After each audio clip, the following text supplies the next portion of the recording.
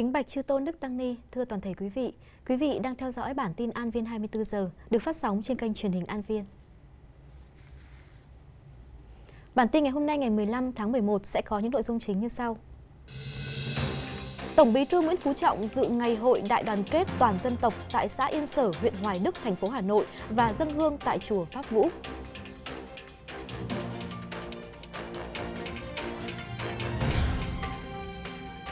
Sáng nay tại Chùa Quán Sứ Hà Nội, Trung ương Giáo hội cùng Đại sứ quán Ấn Độ họp thống nhất cuộc thi kiến thức hành hương về miền đất Phật. Cùng chuyên mục tiêu điểm của bản tin An Viên 24 giờ, tìm hiểu về xu hướng người trẻ đến với thiền như một liệu pháp cân bằng, nâng cao sức khỏe thể chất và tinh thần trong cuộc sống hiện đại. Thưa quý vị, nhân kỷ niệm 91 năm ngày truyền thống Mặt trận Tổ quốc Việt Nam, ngày hôm qua ngày 14 tháng 11, Tổng Bí thư Nguyễn Phú Trọng đã đến dự ngày hội đại đoàn kết toàn dân tộc tại thôn 5 xã Yên Sở, huyện Hoài Đức, thành phố Hà Nội và dân hương tại chùa Pháp Vũ. Nằm cách trung tâm thủ đô Hà Nội gần 20 km, Yên Sở là một làng cổ có truyền thống lâu đời. Trong đó, chùa Pháp Vũ được xem là trung tâm sinh hoạt tâm linh của người dân địa phương khi nằm trong hệ thống tứ pháp của xứ đoài xưa.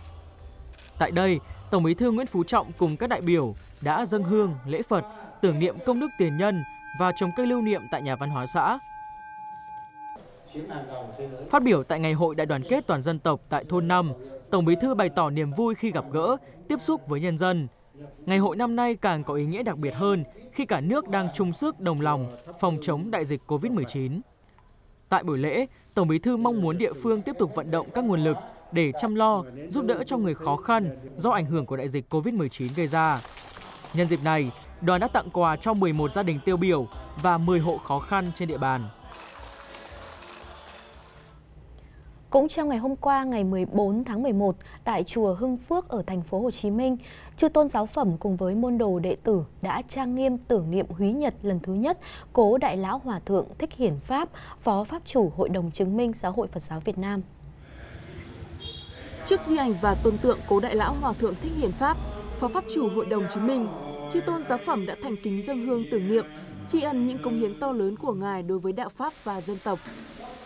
Trong 86 năm trụ thế, 66 năm Hoàng Dương chánh pháp, Cố Đại Lão Hòa Thượng thực hành Bồ Tát Đạo, tích cực trong các hoạt động, góp phần vào sự nghiệp hòa bình, thống nhất đất nước và phát triển của Phật giáo Việt Nam.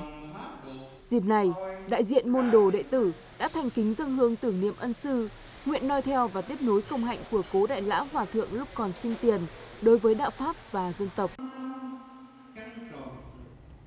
Thưa quý vị, vào sáng ngày hôm nay ngày 15 tháng 11 tại Chùa Quán Sứ ở Hà Nội, Trung ương Giáo hội cùng với Đại sứ quán Ấn Độ đã họp để thống nhất cuộc thi kiến thức hành hương về miền đất Phật, góp phần thúc đẩy giao lưu văn hóa giữa hai quốc gia. Tham dự cuộc họp có Hòa Thượng Thích Thanh Nhiễu, Phó Chủ tịch Thường trực Hội đồng Trị sự, Chư Tôn Giáo phẩm Hội đồng Trị sự, Đại sứ Cộng hòa Ấn Độ tại Việt Nam, đại diện ứng dụng ví điện tử Momo cùng với các cơ quan thông tấn báo chí. Tại cuộc họp, Ngài Pranay Verma, Đại sứ Ấn Độ tại Việt Nam đã bày tỏ niềm vinh dự khi được kết hợp với Giáo hội Phật giáo Việt Nam tổ chức cuộc thi tìm hiểu về Phật giáo và các thánh tích Phật giáo tại Ấn Độ, góp phần thúc đẩy trao đổi văn hóa và tăng cường ngoại giao nhân dân. Phật giáo luôn phát huy vai trò đặc biệt quan trọng trong việc thúc đẩy giao lưu nhân dân giữa hai quốc gia. Thông qua cuộc thi này, chúng tôi mong rằng có thể tiếp tục tăng cường mối quan hệ hữu nghị ấy, được chào đón ngày càng nhiều du khách Việt Nam, Phật tử Việt Nam từ các thành tích của Ấn Độ. Để làm được điều đó, chúng tôi sẽ không ngừng nâng cấp cơ sở hạ tầng, mở thêm các chuyến bay và các tour du lịch trong thời gian tới. Tại đây, các cơ quan thông tấn báo chí đưa ra những chia sẻ và câu hỏi xoay quanh cuộc thi, những kế hoạch của Đại sứ quán Ấn Độ trong việc thúc đẩy du lịch tâm linh, góp phần tăng cường quan hệ hữu nghị lâu đời của hai quốc gia. Cuộc thi hành hương về miền đất Phật được triển khai trực tuyến qua ba vòng thi, xoay quanh các chủ đề kiến thức Phật giáo, cuộc đời Đức Phật và kiến trúc Phật giáo. Đây là hoạt động ý nghĩa nhân kỷ niệm 75 năm ngày độc lập Ấn Độ, 40 năm thành lập Giáo hội Phật giáo Việt Nam và hướng tới kỷ niệm 50 năm thiết lập quan hệ ngoại giao Việt Nam Ấn Độ. Tại thành phố Hồ Chí Minh vào sáng ngày hôm nay ngày 15 tháng 11, Ban Thường trực Ban trị sự Giáo hội Phật giáo Việt Nam thành phố đã họp để thảo luận các Phật sự trong thời gian tới. Và đáng chú ý là Phật giáo thành phố Hồ Chí Minh sẽ tổ chức đại lễ cầu siêu cho người qua đời vì Covid-19 vào ngày 18 tháng 11 tới. Đại lễ sẽ diễn ra tại Việt Nam Quốc tự trong điều kiện giới hạn lượng người tham dự và sẽ phát sóng trực tiếp trên báo giác ngộ cùng các nền tảng trực tuyến. Cùng thời gian này, các tự viện đồng loạt cử hành trì tụng kinh theo pháp môn hồi hướng cầu siêu, đồng bào tử vong vì Covid-19, cầu nguyện cho quốc thái dân an, bệnh dịch sớm tiêu trừ. Tại cuộc họp, Chư Tôn Đức cũng thống nhất cử ba vị đại diện tham gia ban tổ chức đại lễ tưởng niệm các nạn nhân Covid-19 do chính quyền thành phố Hồ Chí Minh chủ trì. Vào thời gian diễn ra sự kiện lúc 19 giờ ngày 19 tháng 11, các tự viện cử hành khóa lễ tụng kinh và tưởng niệm. Ngay sau đó đã diễn ra buổi làm việc với Ban trị sự Giáo hội Phật giáo Việt Nam quận 2, quận 9 cũ và thành phố Thủ Đức nhằm chuẩn bị cho Đại hội Phật giáo thành phố Thủ Đức vào đầu năm sau. Tại đây, nhân sự Ban trị sự Giáo hội Phật giáo Việt Nam thành phố Thủ Đức lâm thời với 63 ủy viên và 8 vị tham gia ban chứng minh đã được thống nhất. Trước đó cũng tại thành phố Hồ Chí Minh, tu viện Khánh An ở quận 12 đã trang nghiêm tưởng niệm cầu siêu cho chư hương linh quá vãng vì dịch Covid-19. Buổi lễ ngoài sự tham dự trực tiếp của chư tôn đức và Phật tử đại diện còn có hàng nghìn Phật tử tham gia trực tuyến. Trong không khí trang nghiêm, chư tôn đức đã cử hành lễ khai kinh cúng Phật và cầu siêu theo nghi thức tâm linh Phật giáo. Dịp này, chư tôn đức Phật tử thắp nến cầu nguyện chư hương linh quá vãng vì dịch Covid-19, tượng trưng cho ánh sáng trí tuệ và tình thương, cầu nguyện chư hương linh siêu thoát, những người thân ở lại được bình an.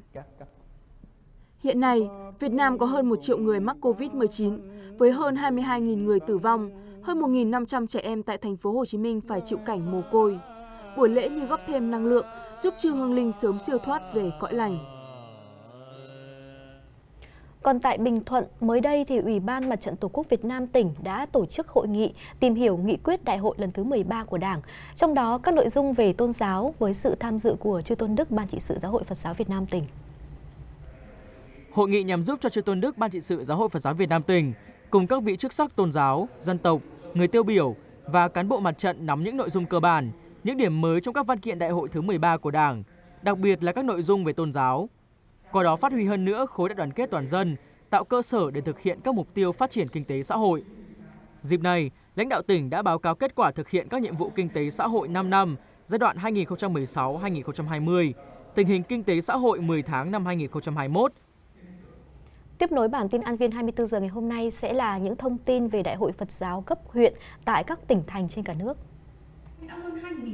Sáng ngày 15 tháng 11, tại Chùa Bộc, Hà Nội đã diễn ra Đại hội đại biểu Phật giáo quận Đống Đa, nhiệm kỳ 2021-2026.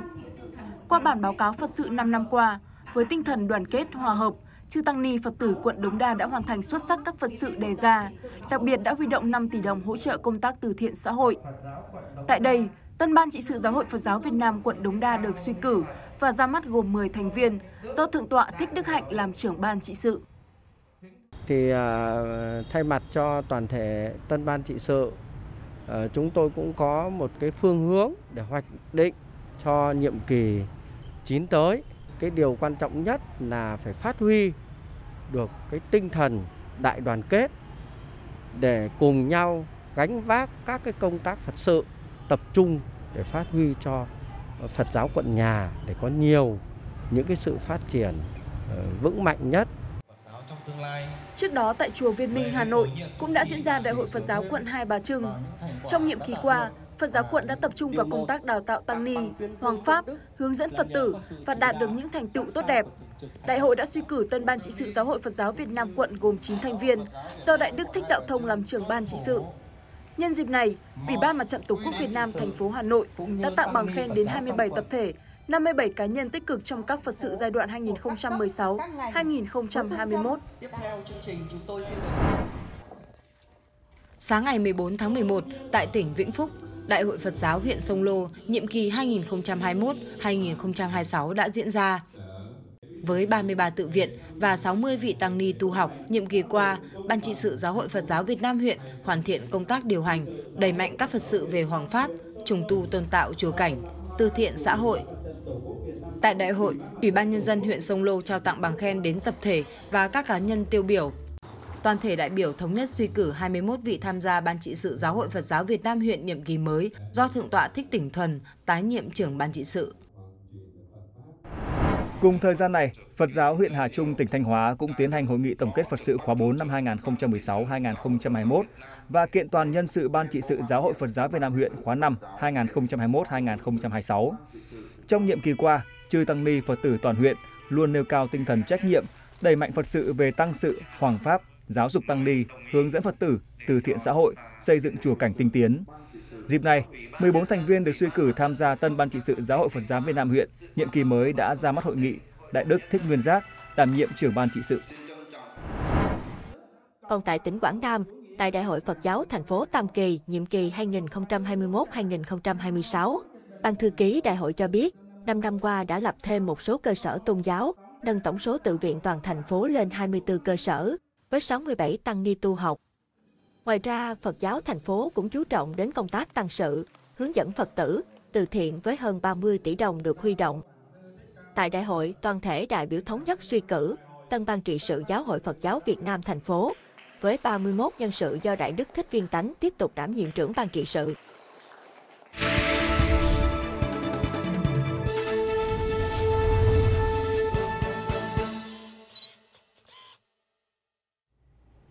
Thưa quý vị, sự phát triển của nền kinh tế cùng với những thay đổi mạnh mẽ của cuộc sống đang khiến cho những người trẻ phải gồng mình chống chọi với vô số áp lực và căng thẳng, dẫn tới tình trạng khá phổ biến hiện nay như là stress hay là trầm cảm. Nhiều bạn trẻ thì luôn có tâm trạng bồn chồn và lo âu trong cuộc sống, trong việc học tập và làm việc.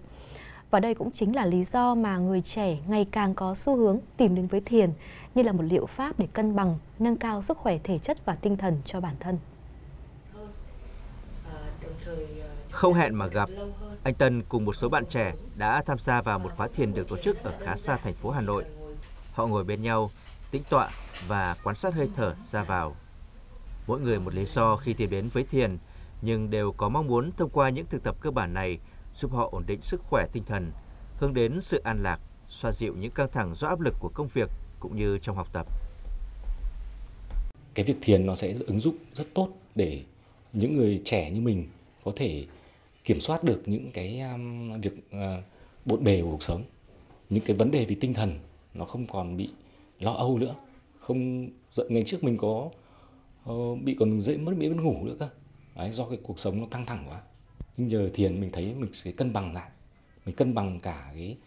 cái thể chất cân bằng cả cái tinh thần của mình. Thiền tập được nhiều người quan tâm bởi nó không chỉ mang giá trị tinh thần tâm linh mà còn ẩn chứa cả yếu tố văn hóa bên trong một xu hướng rất đáng quan tâm gần đây, thiền tập đã trở nên đặc biệt phổ biến với các bạn trẻ Việt Nam. Nếu như trước kia phải vào độ tuổi 40, 45 thì nhiều người mới quan tâm tới thiền, thì nay lượng người trẻ nhiều hơn hẳn. 80% những người tham gia các lớp thiền hiện nay trong độ tuổi từ 18 tới 35 thì khi mà các bạn được thực tập thiền thì các bạn ý sẽ ý thức rõ về những hành động việc làm và lời nói của mình hơn và các bạn sẽ có những cái cuộc sống hạnh phúc hơn thay vì là các bạn ấy ở cái độ tuổi mà rất dễ có sự nhiều sự thay đổi khi các bạn ấy không có cái sự ổn định về tâm lý thì cái việc thực tập thiền sẽ giúp cho các bạn cân bằng tốt hơn. Và cái điều đó thì thật sự là sẽ là cái niềm hạnh phúc đối với rất nhiều uh, phụ huynh cần đến các bạn trẻ trong gia đình tìm được đến thiền. Trong ờ, một số cái năm gần đây thì tôi nhận thấy là cái giới trẻ tìm đến với thiền ngày một đông hơn thực ra đây là một cái tín hiệu rất đáng mừng tức là các bạn đã có ý thức hơn để uh, tìm một cái phương pháp để nuôi dưỡng thân tâm cũng như là một cái phương pháp để cân bằng trong cái cái cái thời gian mà học tập hoặc là uh, trong công việc nó có nhiều cái áp lực. Thiền tập ứng dụng trong cuộc sống hiện nay cũng khá đa dạng. Ngoài các lớp học trực tiếp, còn có thể học trực tuyến. Một số trường học, công sở duy trì thực tập thiền mỗi ngày cho sinh viên hay nhân viên của mình vì những lợi ích đối với tâm trạng, cảm xúc, đạo đức và trí tuệ con người. Thực tập yoga thì trong đó có những cái ờ, phần có thể là thiền sơ hoặc là thiền ờ, buông thư phần cuối hoặc là kết hợp với những cái bài thiền động trong các buổi tập thì ờ, khi mà ứng dụng vào đó thì sẽ ứng dụng cho cái sự chú tâm của bản thân mình kết nối giữa thân và tâm cũng như là giúp cho học viên của em cũng có cái sự kết nối như vậy thì uh, uh, dần dần họ cũng cảm thấy là họ được uh, an trú hơn được hạnh phúc hơn trong mọi việc của họ. Thiền định nó là cái sự quay trở lại hướng vào bên trong và tìm về những cái bản chất thật của của của mỗi chúng ta. Và trong con người ta ai cũng có cái sự nhân ái, ai cũng có cái cái thiện tâm ở bên trong. Và cái việc thiền định đấy là để khơi khơi lại để uh, uh, lấy lại những cái gì những cái cảm xúc thật của chính mình cái điều đấy nó chính là cái mục đích chính của trong một không gian tĩnh lặng, hòa mình vào với thiên nhiên trong lành, các bạn trẻ cảm nhận được sự an yên nơi tâm hồn, đón nhận nguồn năng lượng tốt lành và trạng thái tâm lý tích cực, đồng thời loại bỏ những suy nghĩ tiêu cực và các thói quen không tốt sự hữu ích của thiền tập khiến nó ngày càng trở nên cần thiết cho xã hội nói chung và giới trẻ nói riêng trong guồng quay vội vã của cuộc sống ngày nay. Vâng thưa quý vị, thiền, phương pháp thực tập nhằm thanh lọc thân tâm đang dần trở thành xu hướng mới, góp phần không nhỏ trong việc cân bằng và nâng cao sức khỏe thể chất và tinh thần cho người trẻ hiện đại. Và nơi lý tưởng giúp người trẻ tìm đến với thiền một cách gần gũi, dễ hiểu, trọn vẹn để kiến tạo nên chánh niệm nhất, đó chính là tại các tự viện Phật giáo. Ngày nay thì càng có nhiều bạn trẻ tìm đến với các câu lạc bộ thiền tại các chùa, giống như là cách họ tìm đến với an lạc và hạnh phúc. Những ngày dịch Covid-19 chưa xuất hiện, không khó để bắt gặp hình ảnh này trong các buổi sinh hoạt tại chùa. Các bạn trẻ dành thời gian tìm đến với thiền Phật giáo, giống như cách tìm đến sự thư thái trong tâm hồn, giúp loại bỏ những ưu phiền trong cuộc sống. Thiền không chỉ xuất hiện trong các buổi sinh hoạt tại câu lạc bộ thanh thiếu niên Phật tử, mà nó còn là một hoạt động không thể thiếu trong các khóa tu dành cho các bạn trẻ, mang lại giá trị đối với sức khỏe và tinh thần. Khi đến với thiền ấy, thì mình thấy là có một cái lợi lạc là mình mình được uh, nhìn lại thấu cái con người của mình, tìm được sự bình yên và mình có được cái sự sáng suốt để uh, đối diện với cái cuộc sống và vượt qua những khó khăn trong cuộc sống. Và sau đó thì mình thấy cuộc sống của mình nó rất là an lạc. Do là ngồi thiền ấy cái tâm của mình được lắng lại khí huyết của mình được lưu thông rồi ờ, mình cũng bớt loạn tưởng đi. Thì uh, sức khỏe của mình vì thế mà cũng khá lên rất là nhiều. À, sau một thời gian học thiền à, thì tôi cảm thấy chuyển hóa được thân tâm rất là tốt. Tôi làm chủ được à, một số những cái thuận nghịch trong cuộc sống trong gia đình hay là những cái nơi công sở. Tôi à, sống hòa thuận với mọi người hơn tâm được à, an lạc thành thơi hơn so với à, cuộc sống trước đây. Chính vì những lợi ích mà thiền mang lại đối với mỗi người mà ngày nay có rất nhiều câu lạc bộ, các lớp thực tập thiền được mở ra tại chùa như chùa Đình Quán, chùa Pháp Vân, chùa Giác Ngộ, thiền viện Sùng Phúc, thiền viện Trúc Lâm Tây Thiên, thiền viện Tuệ Đức và rất nhiều ngôi chùa khác trên cả nước. Đối với người trẻ, học thiền ở chùa là sự lựa chọn hợp lý. Không gian thanh tịnh, yên bình nơi cửa chùa, phù hợp với các bài tập thư giãn, để tâm an định và thảnh thơi. Lúc nhập thiền, có thể ngồi bán già hoặc kiết già, ngồi yên thở đều. Khi tránh niệm, cần hướng tâm trở về với hơi thở. Tọa thiền khó, không chỉ ở thể chất mà còn cả tinh thần. Vào giai đoạn thực hành, cần phải tĩnh tâm, vận dụng trì bát nhã. Không chỉ có trong thời khóa mà thiền tập còn ở trong tâm, biết chính xác những gì mình đang làm đều gọi là thiền trong cuộc sống của mình ấy, mình không tránh khỏi những cái gọi là được mất hoặc là phiền não hoặc là đau khổ trong cuộc sống được thực hành theo đúng phương pháp thiền của Phật giáo thì dần dần mình quay lại làm chủ thân tâm của mình hơn. Và những cái phiền não đau khổ trong cuộc sống đấy dần dần được hóa giải. Vì vậy nên là tôi đến với thiền. Thiền là cái trạng thái buông thư tĩnh lặng cân bằng về mặt tâm lý để sau đó áp dụng cho mọi hoạt động. Nó được à, có hiệu quả tốt. Tuổi trẻ nếu mà được thiền tập thì rất căn bản cho mọi cái hiếu động của mình và cái hiếu động đó được à, soi sáng bởi một cái tâm định tĩnh sáng suốt dịch Covid-19 xuất hiện đã làm ảnh hưởng nhiều đến quá trình sinh hoạt, tu tập của giới trẻ. Cũng chính vì thế, nhiều lớp thiền online tại chùa cũng được mở ra, giúp cho các bạn trẻ có cơ hội thực hành thường xuyên hơn. Thay vì đến chùa như trước đây, nhiều bạn trẻ lựa chọn thiền tập tại nhà để đối mặt với những bất an do dịch bệnh gây ra. Tìm tới sự thanh thản trong tâm hồn, duy trì sự lạc quan trong cuộc sống. Tuy nhiên, để thiền tập mang lại hiệu quả, người trẻ cần tuân thủ theo những nguyên tắc nhất định. Thường thì khi mình tu một thời gian, nó qua cái giai đoạn là hết đau đau chân rồi đó, thân nhất rồi thì tâm nó an đó nó dễ rơi vào cái hôn trầm hôn trầm tức là mình ngủ trong lúc mình ngồi hoặc là rơi vào cái tình trạng gọi là vô ký, tâm mình mê mê mờ mờ, không rõ ràng. Để tránh vào những trường hợp đó, khi mình bị hôn trầm, thì mình mở to mắt ra, mình trị bệnh lại. Hoặc là đôi khi nó gục quá, thì chúng ta đứng lên đi thiền hành. Còn cái bệnh mà tán loạn, ví dụ tôi có cái chuyện gì buồn, tôi không xua đuổi được, cái cái công việc nó ở trong đầu rồi thì mình chú tâm dùng sổ tức. Sổ tức là đếm, tức là hơi thở hít vào thở ra hít vào thở ra thôi rồi khi nào nó yên rồi thì chúng ta theo tùy tức.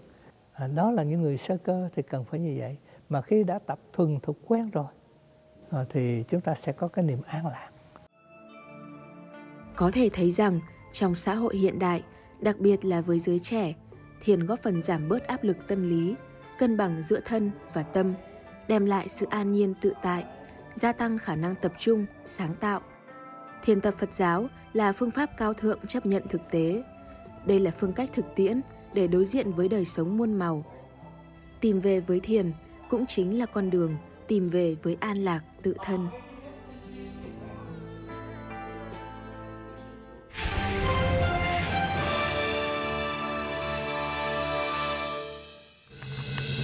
Trong phần tiếp theo của chương trình, phân ban đào tạo giảng sư thuộc Ban Hoàng Pháp Trung ương Giáo hội thông báo mở lớp cao cấp giảng sư khóa học 2022-2025 tại Hà Nội. Ban trị sự Giáo hội Phật giáo Việt Nam thành phố Quy Nhơn, Bình Định tổ chức chương trình trao giọt máu đào tiếp thêm sự sống. Thưa quý vị, phân ban đào tạo giảng sư thuộc Ban Hoàng Pháp Trung ương Giáo hội vừa ra thông báo mở lớp cao cấp giảng sư khóa học 2022-2025 tại cơ sở chùa Vạn Phúc ở huyện Sóc Sơn, Hà Nội. Theo đó, lớp được tổ chức theo hình thức trực tiếp tại cơ sở chùa Vạn Phúc, huyện Sóc Sơn, Hà Nội với đối tượng dự tuyển là tăng ni đã tốt nghiệp cao đẳng, học viện Phật giáo, trung cấp Phật học đối với trường hợp đặc biệt. Chương trình đào tạo gồm nội điển, ngoại điển, nghiệp vụ giảng sư, sư phạm, thực tập thuyết giảng. Lớp cao cấp giảng sư khu vực phía Bắc đào tạo chuyên sâu về Phật Pháp, nghiệp vụ giảng sư, nghiệp vụ sư phạm, bổ trợ những kiến thức ngoại điển một cách phù hợp. Thông qua đó giúp tăng ni giảng sinh có kiến thức, năng lực, phạm hạnh, có tinh thần cống hiến dấn thân, phụng sự Phật Pháp, phụng sự xã hội và con người. Do dịch bệnh phức tạp, công tác tuyển sinh theo hình thức trực tuyến. Theo đó, Chư Tăng Ni thí sinh làm bài luận với hai nội dung, trình bày hiểu biết của bản thân về giáo lý duyên khởi và nêu lý tưởng xuất gia hoàng pháp của cá nhân. Thời hạn nhận hồ sơ là ngày 22 tháng 1 năm 2022. Vào sáng nay ngày 15 tháng 11, trường Trung cấp Phật học tỉnh Gia Lai đã khai giảng năm học mới 2021-2022 theo hình thức trực tuyến. Trong năm học này thì nhà trường tiếp tục tuyển sinh bổ sung khóa 4 năm 2021-2024. Trong năm học mới, có 38 tăng ni sinh tham gia học tại trường theo hình thức trực tuyến nhằm thích ứng với hoàn cảnh dịch bệnh kéo dài. Chương trình đào tạo được sắp xếp phù hợp với khung do Ban Giáo dục Phật giáo Trung ương Giáo hội quy định, đồng thời mở thêm môn tiếng Hoa, tạo điều kiện cho tăng ni sinh có thể học tiếp các cấp học cao hơn ở nước ngoài. Đồng thời, nhà trường cũng chuẩn bị để khi điều kiện thuận lợi, sẽ tổ chức tăng ni sinh nhập chúng tu học, nội trú tại cơ sở mới của trường tại xã Diên Phú, thành phố Pleiku. Trong ngày hôm qua, ngày 14 tháng 11, Ban trị sự Giáo hội Phật giáo Việt Nam thành phố Quy Nhơn đã tổ chức chương trình hiến máu tình nguyện Hành Bồ Tát Đạo đợt 2 năm 2021 tại trụ sở Ban trị sự ở Tổ Đình, Minh Tịnh. Chương trình diễn ra trong điều kiện đảm bảo phòng chống dịch Covid-19. Trời Quy Nhơn mưa nặng hạt, thế nhưng vẫn không ngăn được bước chân của chư tăng ni Phật tử đến chùa Minh Tịnh tham gia hiến máu. Với nhiều vị tăng ni, hiến máu là một nghĩa cử cao đẹp, cứu người là một hành động thiêng liêng, đáng quý hơn hết thảy mọi hành động. Tôi luôn luôn nghĩ rằng thì một một giọt máu mình được khỏe mạnh cho đi đỡ những bệnh nhân hay những ai cần thì mình phải nên cố gắng mình làm được cái việc gì cho xã hội cho đời tốt thì người tu mình đã mới mới gọi là tu chia sẻ từ à, cái giọt máu, một giọt máu đào hơn ao nước lẻ nhưng mà tôi thật thấy đây là một giọt máu đây, ý nghĩa cho những bệnh nhân đang cần cấp cứu. Nên tôi xin tự nguyện và ờ, đỡ hiến máu. Lần đây là lần thứ năm. Em thấy rằng hoạt động hiến máu nhân đạo là hoạt động hết sức là cao đẹp thiên liêng. Nó là hoạt động mà mình cho đi ừ, những tình yêu thương, giọt máu để giúp đỡ những bệnh nhân đang mắc bệnh hiểm nghèo, đặc biệt là trong tình trạng covid ờ, covid 19 hiện tại công tác vận động và quy trình hiến máu diễn ra đảm bảo phòng chống dịch giữ khoảng cách an toàn không tập trung đông người phân chia lịch hiến máu phù hợp. Lần này ban tổ chức đã tiếp nhận được gần 70 đơn vị máu. Hiến máu tình nguyện một ý nghị một nghĩa cử rất cao đẹp một cái thiên tiên truyền một thông điệp thì trách nhiệm à, tăng ni phật tử cũng như phật tử gần cha chúng ta phải cố gắng chúng ta thực hiện được tâm nguyện hạnh nguyện đức Phật dạy cứu chúng sanh cũng như là cũng như chư Phật. Cũng rất là ghi nhận những cái tấm lòng nhân đạo của quý uh, Phật tử của Hội Phật giáo tỉnh uh, thành phố Quy Nhơn. Uh, các thầy cũng như là các Phật tử đã tích cực tham dự trong cái buổi uh, hiến máu ngày hôm nay. Mặc dù thời tiết rất không thuận lợi nhưng mà sự tham dự nhiệt tình đông đúc của các Phật tử uh, sẽ giúp thêm cho nhiều cái giọt máu uh, nghĩa tình những giọt máu an toàn mà đến với bệnh nhân trong cái thời điểm hiện tại đông đảo chư tăng ni cư sĩ Phật tử, huynh trưởng đoàn sinh gia đình Phật tử thành phố Quy Nhơn đã hiện diện và tình nguyện tặng đi những giọt máu nghĩa tình. Đây cũng là sự kiện chào mừng kỷ niệm 40 năm thành lập Giáo hội Phật giáo Việt Nam và chúc mừng sự thành công của Đại hội đại biểu Phật giáo thành phố Quy Nhơn lần thứ 7, nhiệm kỳ 2021-2026. Đến đây thì bản tin An Viên 24 giờ cũng xin được khép lại. Cảm ơn quý vị đã quan tâm theo dõi. Cảm ơn Taco đã đồng hành cùng với chương trình. Xin chào và hẹn gặp lại.